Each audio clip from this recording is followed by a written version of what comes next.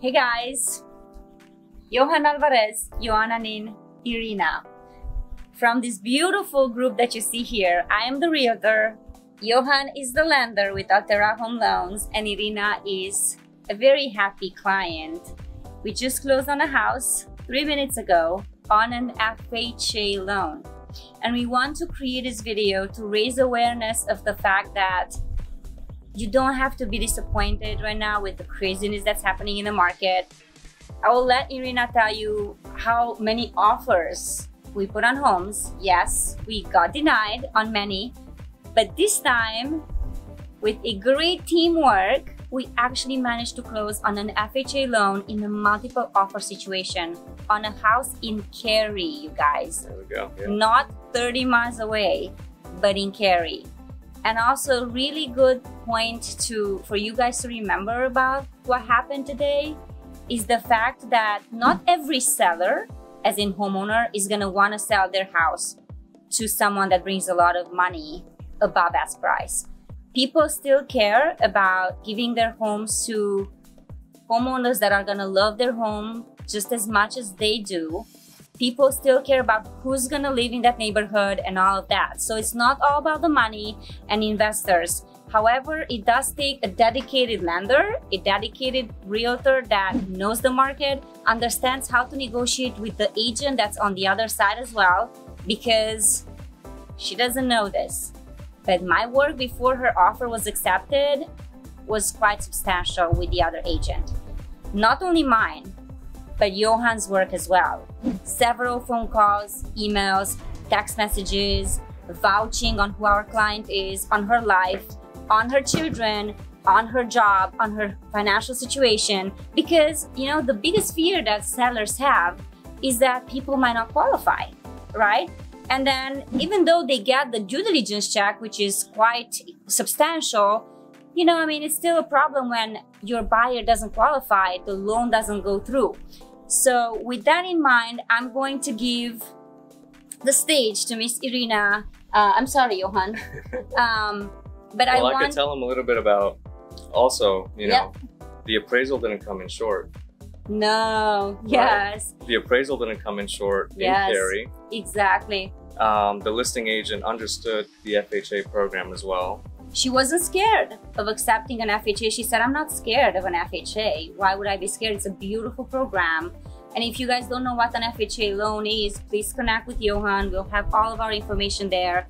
The point is, she wasn't scared. Um, even though it's a government loan, it doesn't mean that the person doesn't have money or they have bad credit or anything like that. But there's a lot of first time home buyers out there, just like Irina, that need a house. And there is a possibility for all of you to get a house. And it was So- the best program for her situation. right? Absolutely. And she tried uh, to obtain a different program and it didn't work out. And we were able to get it done. And how quick did we get it done for you? Kahina? Three weeks.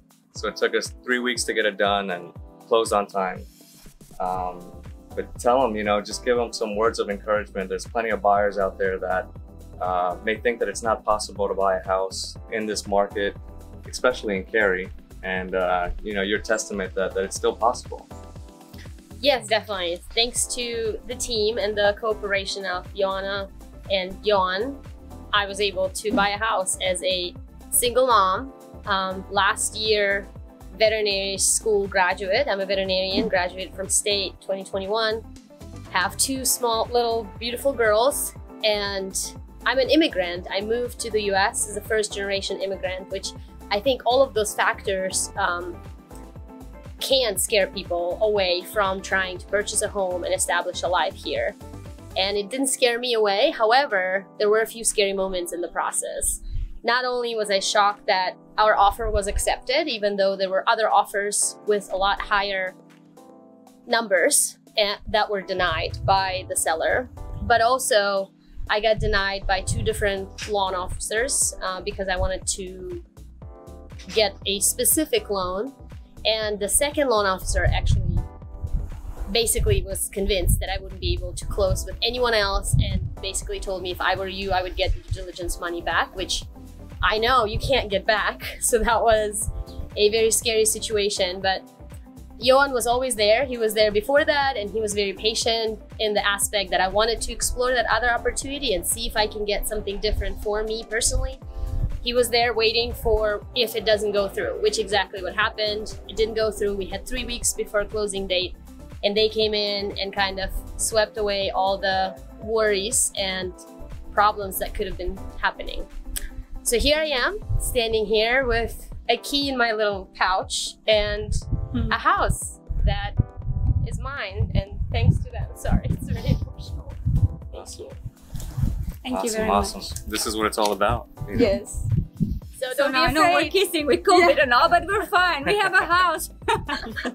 no, we're- we're just joking. Congratulations, Irina. Thank you. Congratulations again, you guys. Um, Don't get discouraged. Don't get discouraged. Just choose the right lender, the right le- realtor, and trust the process. Just trust that they know what they're doing. Um, there are a lot of people out there who don't know what they're doing, unfortunately, who would offer you all sorts of rebates. And let me tell you the secret the reason they're offering you rebates because you yourself are not asking for rebate for your, from your employer because you know what you're doing, right? But the reason they're ask, they're offering those rebates is because they probably are not good at what they're doing and they don't know how to protect their clients. So they would get anything done just to get a client through their door. Um, I probably shouldn't have added that there, but it's so um, But it's a it's it's, it's, so relevant real because right now. Yeah. you add value in a different way, right. And it doesn't have to be money the way that you add value. No, no, Um, there's a lot of scenarios, and real estate agents are, I feel, kind of just being seen as a tool to just see a house. But you guys, in the background, there's a lot of phone calls, there's a lot of emails, there's a lot of things that go on between a realtor, between a lender, and not all lenders have the same programs.